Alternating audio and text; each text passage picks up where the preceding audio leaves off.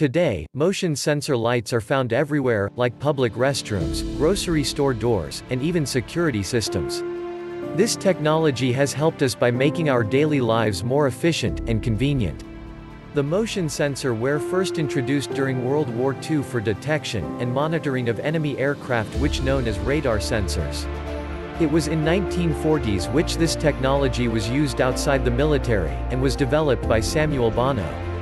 Equipped with the knowledge of radar, and newly developed electrical components. He then began doing research on ultrasonic alarm, which is also similar to radar sensor. His invention gives way to ultrasonic alarm, which created waves inside a room like a web, and detected the motion of a person. Hence, any disturbance in the pattern will trigger the alarm. In addition, radar sensors are also known as active sensors, because they emit energy in order to detect a change. This depends on the type of radar system and its intended application. You can find a nice bit of history on it here. The early radars could not tell the difference between aircraft types, any kind of movement was coordinated beforehand on the friendly side, and anything that was not pre-arranged was considered foe. The early Doppler systems that resided on the DEW Line, could be triggered by as little as a dense flock of birds. The early radar data from the DEW Line was processed on the SAGE system, a very early, very primitive system for coordinating a great deal of weather, radar, and flight information. With the advent of modern computer processing, and the ability to analyze radar returns beyond staring at a scope, it is possible to determine, with great certainty, the make of an aircraft by its radar signature, and in some cases thermal signature. Also known as radar cross-section. Everything, even stealth planes, have a radar cross-section, and once a cross-section has been identified, it could be used again to check against future pings. One could go as far as to say, there is some historical precedent around this.